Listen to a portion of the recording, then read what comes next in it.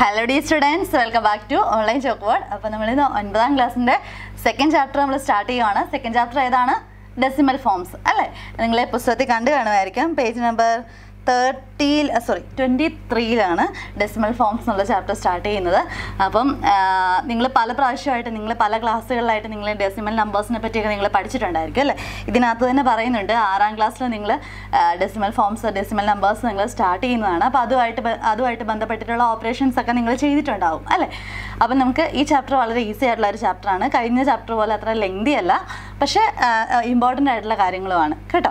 അതിനു മുമ്പായിട്ട് നിങ്ങൾ ഫസ്റ്റ് ടൈമാണ് ഈ വീഡിയോ കാണുന്നതെങ്കിൽ അല്ലെങ്കിൽ ഈ ചാനൽ കാണുന്നതെങ്കിൽ നിങ്ങൾ മറക്കാതെ ഒന്ന് സബ്സ്ക്രൈബ് ചെയ്തേക്കുക.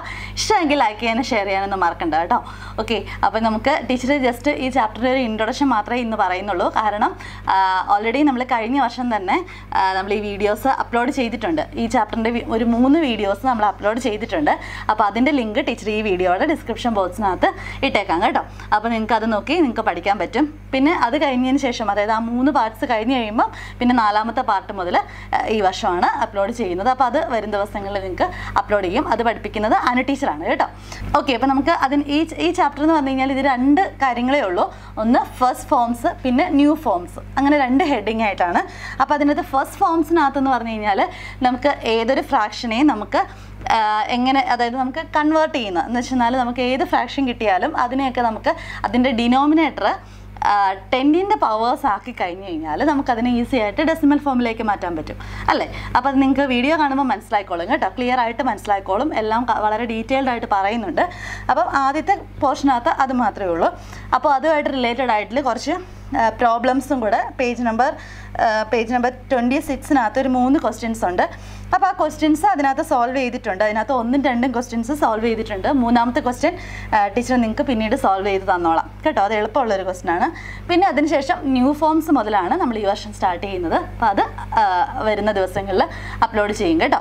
അപ്പോൾ ന്യൂ ഫോംസിനകത്ത് എന്ന് പറഞ്ഞു കഴിഞ്ഞാൽ ചിലപ്പോൾ നിങ്ങൾക്ക് പുസ്തകത്തിനെ കാണുമ്പോൾ വളരെ ലെങ്തി ആയിട്ടൊക്കെ നിങ്ങൾക്ക് തോന്നാം. അല്ലെങ്കിൽ ഭയങ്കര ബുദ്ധിമുട്ടായിട്ടൊക്കെ തോന്നാം. പക്ഷേ ബുദ്ധിമുട്ടൊന്നുമല്ല.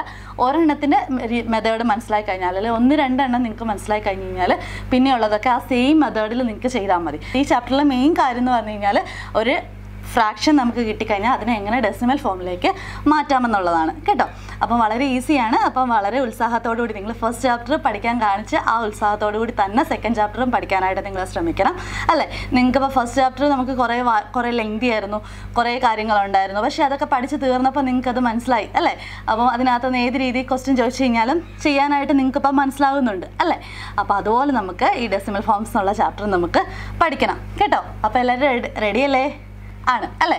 ഓക്കെ അപ്പോൾ നമുക്ക് അടുത്ത വീഡിയോസിലൊക്കെ നമുക്ക് കാണാം. നിങ്ങൾക്ക് എന്തെങ്കിലും സംശയങ്ങളൊക്കെ വന്നു കഴിഞ്ഞാൽ നിങ്ങൾക്ക് കമന്റുകളായിട്ട് ചോദിക്കാം കേട്ടോ. പിന്നെ അതുപോലെ തന്നെ ഫ്രണ്ട്സിന് ഷെയർ ചെയ്യുന്ന കാര്യമൊന്നും മറക്കണ്ട. അപ്പോൾ നമ്മൾ രണ്ടാമത്തെ ചാപ്റ്റർ ആയിട്ടുണ്ട്. പിന്നെ സ്കൂളിലെ എക്സാംസ് ഒക്കെ നന്നായിട്ട് എഴുതാനായിട്ട് ശ്രമിക്കുക. കാരണം നമ്മൾ നെക്സ്റ്റ് ഇയറിൽ നമ്മൾ എങ്ങോട്ടാണ്? പത്താം ക്ലാസ്സിലേക്കാണ് അല്ലേ?